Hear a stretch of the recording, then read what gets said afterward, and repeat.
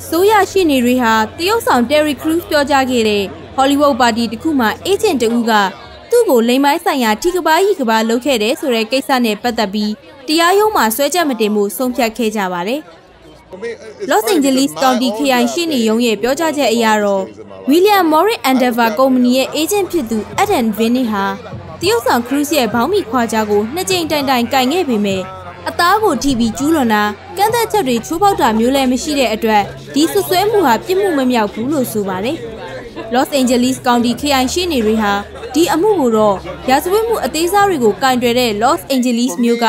မြို့နယ်ရှိနေတဦးစီပို့ခဲ့ပါတယ်။မြို့နယ်ရှိနေကတော့ဗင်းနစ်ကိုတရားစွဲဆိုဖို့အတွက်ကန့်သက်ချက်တွေအရအချိန်ကျော်လွန်သွားပြီလို့ဗုဒ္ဓဦးနေ့ကပြောလိုက်ပါတယ်။ I never go down. I ဟောလိဝုဒ်ပါတီဟာ2016ခုနှစ်ဖေဖော်ဝါရီလတုန်းကကျင်းပခဲ့တာဖြစ်ပြီးအဲ့ဒီမှာဖြစ်ပျက်ခဲ့တဲ့အမှုကို Cruise က2018ခုနှစ်နိုဝင်ဘာလအထိမတိုင်ကြားခဲ့ပါဘူး unrealistic. ။ Venus ရဲ့ရုံးကနေဒီဖြစ်နဲ့ပတ်သက်ပြီးတစုံတရာမှတ်ချက်ပေးခဲ့တာမျိုးမရှိသေးပါဘူး I'm always like ။ Cruise ရဲ့ပြောရေးဆိုခွင့်ရှိသူကလည်းဒီအတွက်မှတ်ချက်ပေးဖို့ညှင်းပယ်ခဲ့ပါတယ်။